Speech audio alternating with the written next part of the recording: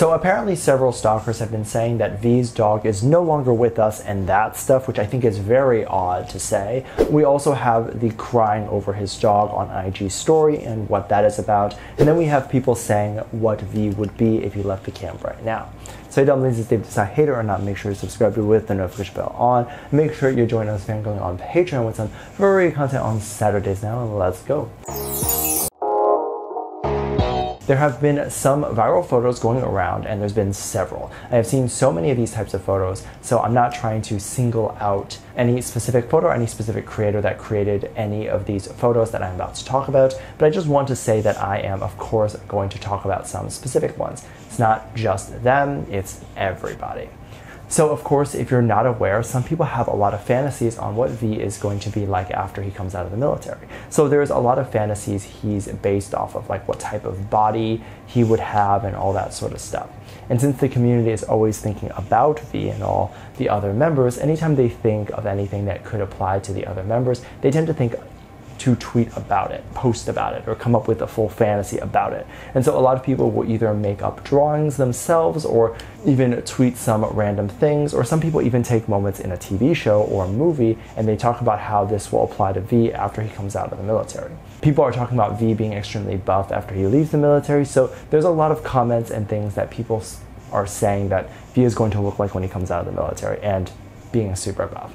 There was this one drawing where he was in the kitchen or someone would that was supposed to represent him was in the kitchen and you could see his back and it was super buff and super big. People are expecting that when he leaves the military he's going to look very broad. He's going to have very broad shoulders and very broad chest and all of this stuff. And it's making people very excited to see this as he will probably show pictures or whatever it is of him looking like this. Now, I think it's totally fine to have these fantasies and to make pictures like this and also watch videos and movies and put V in there. I think it's such a cute thing. However, I do tend to worry about what any artist would think about this and whether it sets a weird precedent if V doesn't look super buff when he comes out or if it makes him feel like he is being sexualized.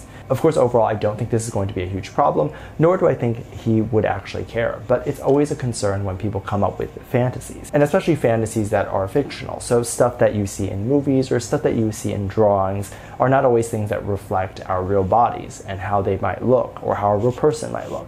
And I mean, V has a lot of stuff going on. Recently, he put out an Instagram story in which it seemed like he was very much missing his dog. And I think he left a caption to basically say that he does miss his dog. And I think people are getting really emotional about this, even just seeing it, because they're seeing how much he misses his dog. And his dog has sort of become famous within the community. So a lot of people want to see him as well. And miss his dog as well. A lot of people had this concern when he enlisted, and any of the other members who have pets of how long it'll be before the members see their pets. And I'm not sure where V's dog is located, like if it's back home with his parents and his parents live in a different part of Korea or what the situation is, because even when you're in the military, you get time to come out. And I think only if you're doing specific missions or whatever it is, do you actually stay overnight. Whereas I think most of the time you're allowed to go home.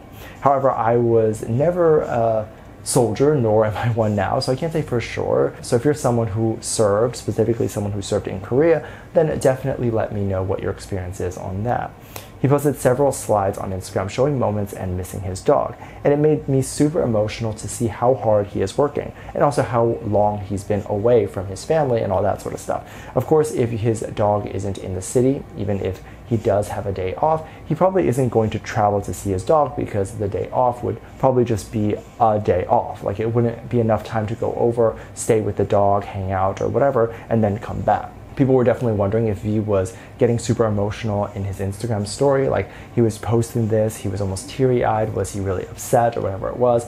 And I think he's working hard so that he can definitely have a day off, leave, and he can definitely go see his dog again and spend as much time with his family and dog. I can also imagine how hard this must be, but I can definitely see that it's something that pe- most people within the community are also getting emotional about, which is not typical for most soldiers. So now it's not only that you miss your dog, but the whole community also misses your dog. And then there's this whole trending thing going on and a bunch of random things.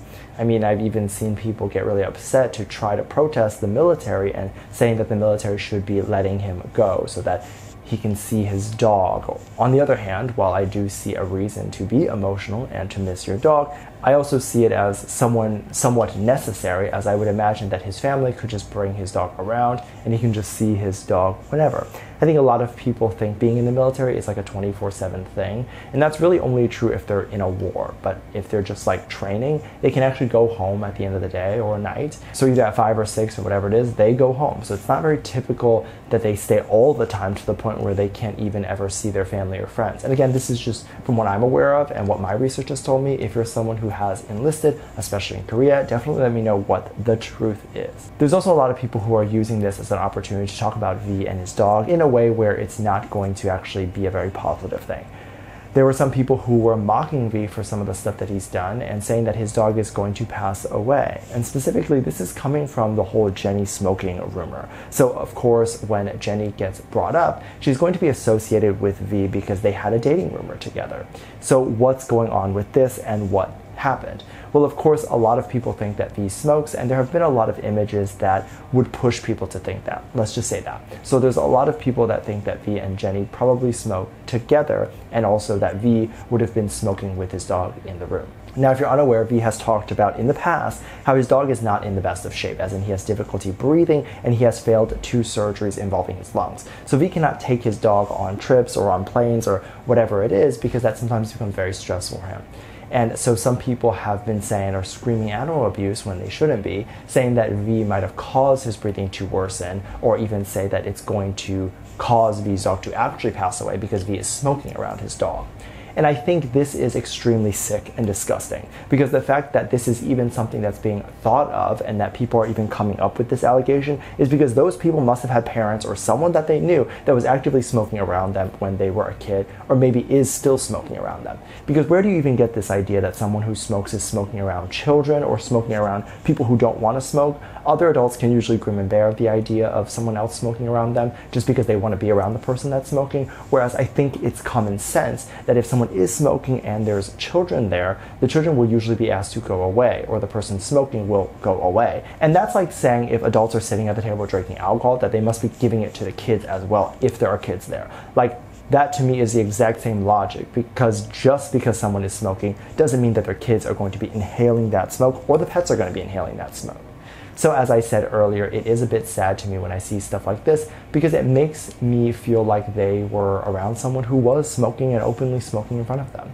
Of course, knowing that his dog might have breathing problems, he is not going to smoke in front of his dog. He's probably going to have his dog in the other room while he smokes, or he doesn't smoke in the apartment. He smokes outside without his dog. He likely has a balcony. He likely has a bunch of different places in which you could smoke, and he would do that and not bother his dog at all. So when I see stuff like this, obviously to me, it comes from a place of delusion, comes from a place of them probably experiencing bad things, the haters, and that actually makes me a little bit sad because I wish that people wouldn't experience bad things so they wouldn't accuse other people of doing bad things. When most people, especially people who have class, are not living lives that are going to be mean to other people and inconsiderate towards others. I don't know if that makes sense. Let me know what you think. Make sure you check out Patreon for more videos. Link down below. Link to this lovely comment right here. Love you. Bye.